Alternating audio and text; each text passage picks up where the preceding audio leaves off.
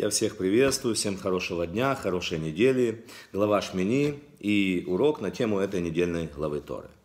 Я посвящаю также этот урок миру в Украине, полной победе над тем агрессором, который пришел сюда с оружием на эту землю. Эта глава называется Шмини. Шмини это восьмой. Начинается словами «И было на восьмой день, призвал Маше Аарона и его сыновей и старейшин». Существует три цифры, описывающие состояние окружающего мира, в котором мы находимся. Это 6, 7 и 8. Шестерка – это показатель сугубо физического мира. Шесть дней работы. Известная формулировка Сторы. И это показатель, как мир вообще существует с его автоматическими явлениями. Дождь, свет, день, ночь, деревья – и сам человек, который появляется в этом мире, занимается его какими-то социальными действиями, живет, вырастает, женится, замуж выходит, рожает детей, ходит на работу, и все прекрасно, это не является чем-то плохим или неправильным. Но если человек на этом только останавливается, вот здесь появляется проблема. Потому что шесть дней работы, а седьмой день – день Господу. И это тот день, когда Всевышний передает свои полномочия, делегирует то, что он хочет от этого мира человеку, охраняя и возделывая от Отца. И цифра 7 – это максимальная высота, которую может достичь человек в этом мире. Максимальное состояние гармонии этого мира. Вместе со Всевышним человек может этого достичь. И только лишь тогда приходит ответ. Это восьмерка. Восьмерка – это влияние сверху, это ответ Всевышнего на действие человека. Это чудо, честно говоря. Восьмерка что обозначает? Бесконечность. Вот как можно прикоснуться к этой бесконечности? Понять, зачем ты в этом мире, что тебя хочет Всевышний, зачем ты здесь появился. И далее Тора нам говорит, чем мы должны заниматься, все заповеди, дела, описания, как человек должен жить. И тогда ты, у тебя есть шанс прикоснуться к этой восьмерке. И если цифра 7 описывает вот, гармонию этого мира, да, у нас цифра 7 очень важна в нашем мире. 7 дней недели, да, 7 там, нот, 7 цветов радуги, даже есть 7 незаменимых аминокислот, которые должны попасть в человека извне, организм не может их синтезировать. Но вот цифра 8, она описывает совершенно чудесное явление, непонятное даже разуму. К примеру, к примеру, обрезание, да. На восьмой день происходит обрезание еврейского мальчика. Зачем? Может, он не хочет, скажут скептики, люди, не понимающие этого, да. Хотя это действие совершенно непонятного плана изменяет всю человеческую жизнь. Либо, вот недавно была Ханука, восемь дней Хануки, это чудо когда масло не должно было гореть, но горело. Это то, что рушит рамки природы. И это ответ на действие человека – и Мешкан у нас здесь тоже заработал на восьмой день, на него спустилась шхина, видимое присутствие Всевышнего, сошел огонь. На восьмой день в ответ на семь дней посвящения, то, что делает человек. Вот сейчас, в это тяжелое время, то же самое. Надо из всех своих сил попытаться понять, что же хочет нам сказать Всевышний, даже чем-то, казалось бы, плохим. Извлечь из этого урок, стать лучше, и произойдет этот ответ, эта восьмерка, которая спустится с небес. Это реальное чудо. И нам эти чудеса обещают. И в нашей главе удивительная вещь. Для того, чтобы произошло вот это раскрытие, чтобы спустилась шхина, Маше с Аароном вместе заходят в храм – как говорит Мидра, что Аарон ну, немножко как бы переживал, боялся. Он боялся подойти к жертвеннику, чувствуя какую-то свою вину насчет золотого тельца. И Маша ему говорит, я тебе передам все знания, которые дал мне Всевышний для того, чтобы произошло вот это раскрытие. И только когда они заходят вместе, происходит это раскрытие. Они потом выходят, благословляют весь народ. Так вот, как говорит как говорят наши мудрецы, что вот Маше и Аарон – вот сейчас внимание, это два состояния самого человека, одного человека. Говорят, что человек внутри себя должен быть как Маше, а снаружи должен быть как Аарон. Кто такой Маше? Маше соответствует правой стороне, да, это воля Всевышнего, без каких-либо изменений, достижения цели. Маше движется по пустыне ведет народ к границе земли Израиля, несмотря вообще ни на что. Его не волнует ничего. Даже если мы посмотрим на грех Золотого Тельца, он молится за каждого, даже за грешника, да, сохраняя им будущий мир. Но потом, спускаясь вниз, что он делает? Он производит суд. Тут ты просил пощадить их, а потом сам ты приводишь к тому, что они погибают. Да? Кто за Бога ко мне, и левиты идут, убивают всех виновных. Вот Маше – человек, который движется к цели, несмотря ни на что. Маше – это сама твердость, сама скала. Да? И почему человек должен быть таким внутри? Он должен относиться к себе так. Ты должен относиться к себе очень строго. Ты должен знать, должен разбираться, что я должен сделать. Что я должен сделать в какой-то определенный момент, что я должен сделать в связи с э, общиной, с обществом, со страной, даже вот это вопрос очень сейчас явный, вот сейчас, что я должен сделать сейчас, в то время, когда в Украине идет война, да, и есть же правильное решение. В большинстве случаев, давайте не будем обманываться, человек все-таки знает, как правильно поступить, знает хотя бы в некоторый момент, но потом он эту свою совесть куда-то так ножкой задвигает и делает как бы неправильные вещи. Так вот, внутри мы должны следовать линии Маше. Мы должны очень серьезно относиться к себе, к своим каким-то неправильным действиям, проступкам, неправильным мыслям, держать себя в, какие, в какой-то ограде, да. А снаружи человек должен быть как Аарон. Он должен относиться к людям очень спокойно и с любовью, с каким-то пониманием. Не нужно сразу судить, мы это очень любим. Мы не замечаем какое-то зло в себе, но зато очень быстро замечаем зло в своем соседе. Так вот в себе надо это найти. А сосед, на соседа надо смотреть сквозь призму милосердия. И таким, человек был, таким человеком был Аарон. Аарон, который э, любит людей. Вот поэтому это два состояния. Внутри будь строг к самому себе.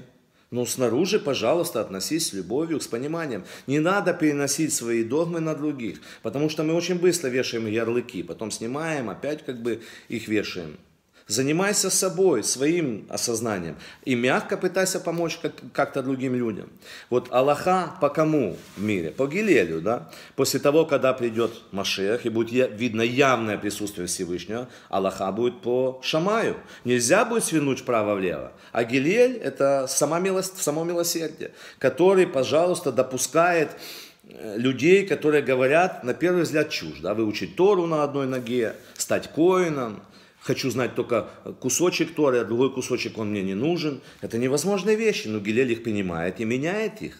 Вот это милосердие. А как относится Гилель к себе, чтобы услышать, услышать мудрецов? Он лезет на крышу, спит возле окна, не спит, а смотрит возле окна, его засыпает снегом, он засыпает от холода, чуть ли не умирая. Слушайте, казалось бы, как такой жесткий человек может так мягко относиться к другим? Вот есть одна интересная история, когда Гилель э, человеку отдал коня, да, своего коня, а потом бежал несколько там миль вместе с ним. И как это объясняется, что если человек, к примеру, был богат и обеднел, то это не значит, что ему надо дать чуть-чуть. Ему надо дать, помочь как-то больше, чтобы он почувствовал себя опять человеком, тем, которым он был. Я прошу уловить, это очень как бы тонкая грань. Это не для того, чтобы всегда так делать примеру, человек, который, не дай бог, ни про кого будет сказано, был богат, обеднел, и ему пытаются помочь, помочь больше. И если с Божьей помощью он будет что-то делать и восстановит свое состояние, прекрасно. Если нет, то потихонечку он привыкнет к своему состоянию. Это акт милосердия. Вот так делал Гилель. Сам бежал и отдал коня человеку. Для того, чтобы этот человек почувствовал себя как-то защищенным, почувствовал тем, кем он считает себя в этом мире.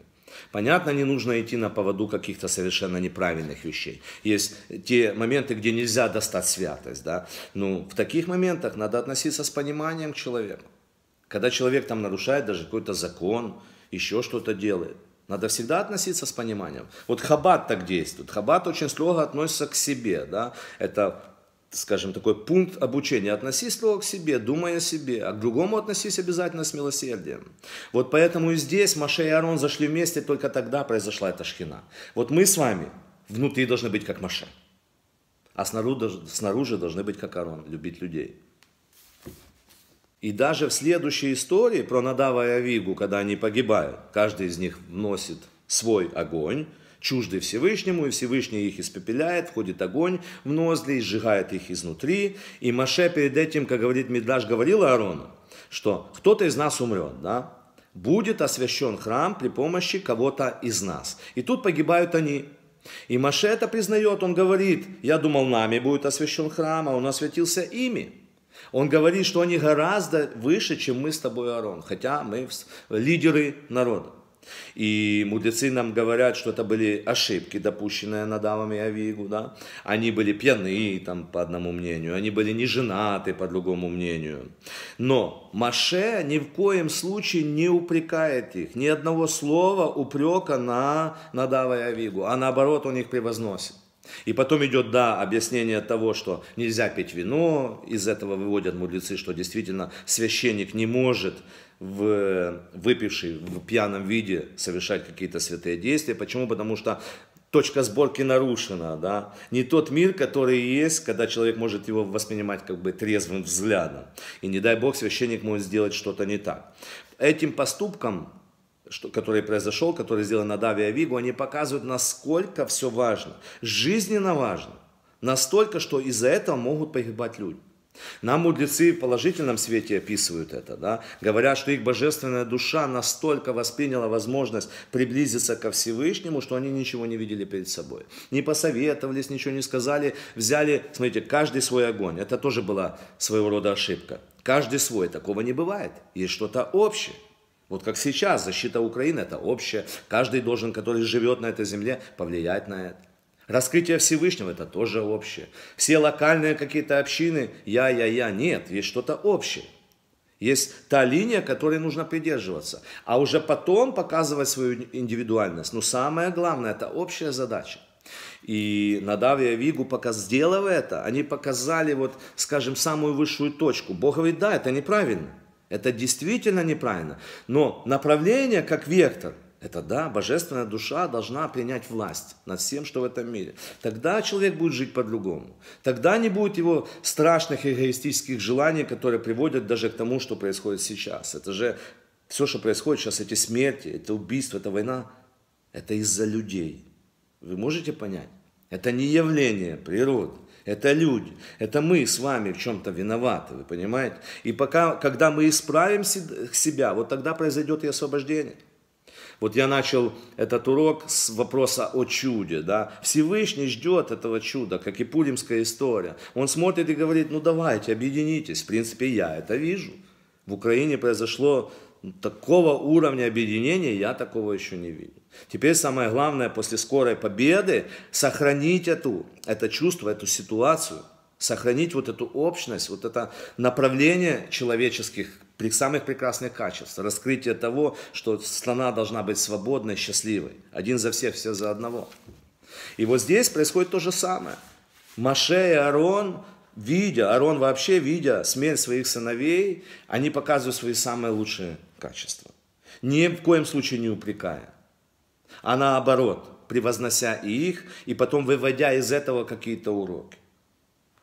Далее следует еще более резкий переход. После таких событий идет переход к кашруту. Каких животных можно есть? Птиц, рыб. И смотрите, у нас эта глава, она просто пестрит такими компонентами, которые, казалось бы, несоединимы.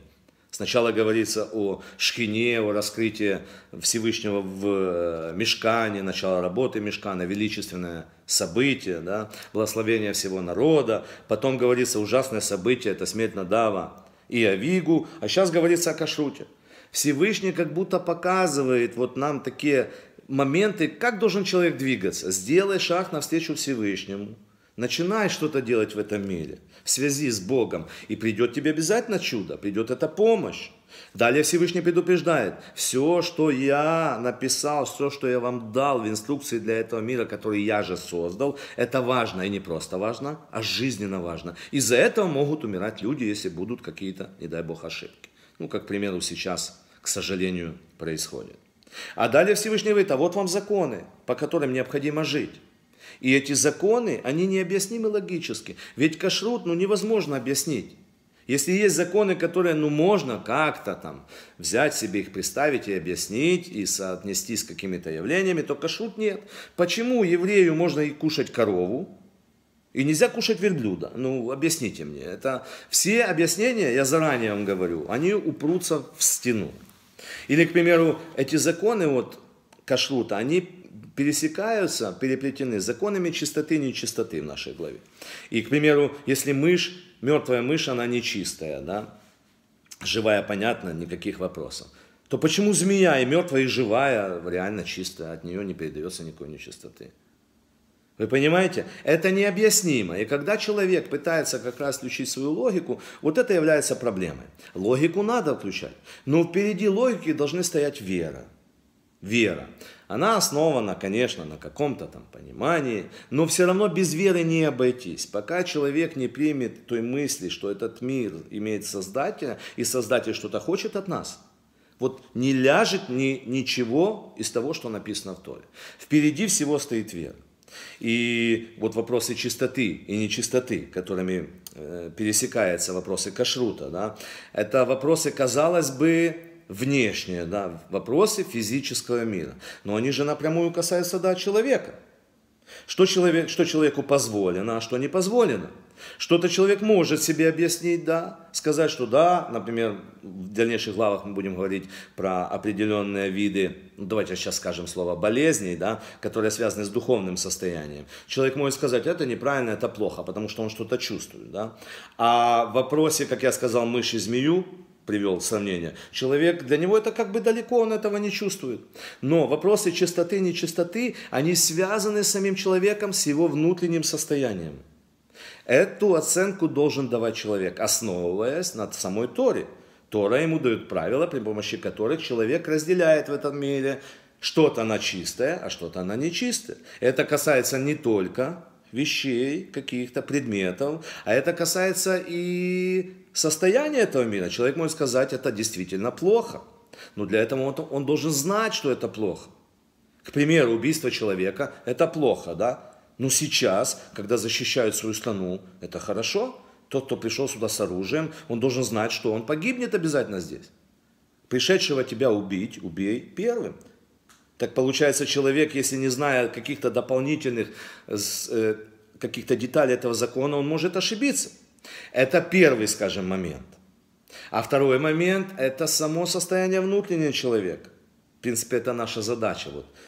Идти, идти от внешнего, спуститься в самую глубину самого себя и потом опять проявить себя только уже правильно. У человека есть мысли, да? И они тоже делаются, делятся на чистые и нечистые. Но это я вам уже не буду объяснять. Все, каждый, каждый из вас сам понимает, когда приходит мысль какая-то неправильная, а когда приходит правильно. Э, понимает, когда это явно видно. А когда есть какие-то вопросы, когда есть какое-то тонкое состояние, где человек не знает законов, и он ошибается в своем решении. И потом его неправильное неправильное решение а, относительно чистого и нечистого в нем самом проявляется в действии. И, естественно, это приводит к появлению каких-то проблем. Поэтому вот этой главой Шмини, Шмини 8, бесконечность, это влияние сверху, Всевышнего, он хочет показать, Бог хочет показать, примите то, что я хочу от вас. Примите, даже если вы этого не понимаете, примите, это будет правильно. Не произойдет никакой беды, как это было с Надавом и Авивом. Если бы они имели все-таки холодную голову в тот момент, а не полное поглощение вот, желанием божественной души приблизиться ко Всевышнему. Это прекрасно, но не этого хочет Всевышний. Вы понимаете? Поэтому Понимание чистого и нечистого, опять же, должно происходить внутри нас с вами, на нашем мыслительном уровне. После этого это передается на наш эмоциональный уровень, а далее это проявляется в мире. И то же самое наоборот, когда мы готовы к этому, мы можем то, что приближается к нам в мире, мы можем сказать, стоп, не подходи ко мне, это не чисто, это мне не нужно, это мне навредит, этого не должно быть. А вот это да, правильно, прекрасно, пускай это приблизится ко мне, пускай это будет, это то, что хочет Всевышний. Но как раз в земных делах и раскрывается человек. Это своеобразный парадокс. Казалось бы, читая духовные книги, да, кажется, ты должен улететь в мир небесный. Но Тора показывает нам, что Всевышний хочет совершенно другого. Он хочет жилище в нижних мирах, квартиру здесь, среди нас. Он может проявиться между человеком и человеком. И мир, который он создал, и является тем источником этой силы. Казалось бы, самая низкая материальность, но там скрыт Всевышний. Как говорит Рэба, если нужно понять что-то тяжелое, нужно вставить рычаг в самый низ. И тогда произойдет этот подъем. Но рычаг должен быть высоко привязан сверху. И чем выше он привязан, тем легче будет поднять что-то тяжелое. И это такой путь. Человек должен находить в себе какие-то несоответствия. То, что он видит, нужно обязательно исправить. И должен это как-то поднимать. Как? Привязаться ко Всевышнему. Как привязаться ко Всевышнему? Изучать Торы. И там написано законы. Законы это и есть те вот подъемники, те рычаги, которые поднимают материальность к Богу. И получается, человек находится вроде бы в этом мире, а привязан к небесам. Живет вместе со Всевышним. Вот законы кашрута, именно животных, есть два признака. Да? Это раздвоенное копыта и жевание жвачки. И Рэбе говорит, что вот копыта – это та прослойка между материальностью и головой. Той головой, которая жует жвачку. Обязательно должна быть прослойка. Человек не может взять и полностью окунуться в этот физический мир. Должно быть понимание. Это копыта, две линии действия. Правая линия, линия милости, линия строгости, ограничения. Их соединение там – это гармония, да, сострадание. И когда человек полностью углубляется в дела этого физического мира, забывая о голове, вот тогда происходит проблема. В прошлой главе говорили мы о пепле, о выносе пепла. Когда он выносился, когда его накапливалось много, так что он мешал работать, тогда нужно было срочно очистить это место для того, чтобы продолжить. Возможно развитие только там, где очищено это место. Как его очистить? Законы чистоты, чистого, нечистого дает Всевышний. Ты всегда должен понимать, зачем ты стоишь на это, в этом, находишься в этом мире, стоишь на этой земле. Вот это и есть вот этот намек, это копыта, это действие человека, как он должен действовать. А голова, голова находится вверху. Не нужно всегда опускать голову сюда к земле. Вот не нужно. Она должна быть привязана к небесам. Пережевывание жвачки, у животного есть там два желудка, да, и в один попадает, потом размечается, в другой попадает. Слушайте, также человек, только в духовном плане. Он впитывает в себя этот мир, то, что этот мир ему дает. После этого что он должен сделать? Произвести какой-то анализ. Неправильное выкинуть, законы чистоты, нечистоты, чистое оставить, а после этого действовать в этом мире через вот эту как раз прослойку. Только так возможно правильное существование человека в этом мире. А Тора является этим путеводителем, является той стопроцентной истиной, которую, пожалуйста, можно добавлять ко всему, что ты делаешь чистому. И это тебя будет поднимать на необычайную высоту ко Всевышнему. Но тем не менее, ты будешь находиться здесь, в этом физическом мире, стоя ногами на этой земле. Это и есть наша задача. Самое главное, не Тору тянуть к чему-то, а все остальное приводить Торе, потому что мы не вправе разбивать на части. Это та цельность, которая называется жизнь. Перед тем, как вот заблудиться, человек шел по красивой, ровной, широкой дороге, но тем не менее, не про кого будет сказано, произошло что-то нехорошее. Перед тем, как происходит что-то нехорошее, человек выходит из дома, да, уверенный в своих силах, при нем все необходимые вещи. Но тем не менее, не дай Бог, происходит так. Почему? Потому что человек незаметно начинает сворачивать с этой дороги. Не идет, а начинает вытягивать то, что ему нравится. Тора дает необычайное раскрытие. Я думаю, вы уже почувствовали. Прикоснувшись к Богу, ты получаешь такую радость этой жизни. Я не представляю сам, что может произойти, когда мы полностью, тотально окунемся в желание Всевышнего. Это будет тот период, когда человек наравне с Богом будет заниматься изменением этого мира. В принципе, это и есть наша задача. Так вот, я желаю всем сил, чтобы мы с вами на этом пути были мужественны, чтобы у нас все получалось, чтобы мы были здоровы. И я желаю, чтобы был мир в Украине, и восстановились семьи, вернулись наши дети. Вот период между Пуримом и Песохом – это удивительный период. Я думаю, как раз это произойдет вот именно сейчас. Поэтому с Божьей помощью всего наилучшего. Спасибо, что слушаете. Делитесь моим уроком. Буду благодарен. Всем пока.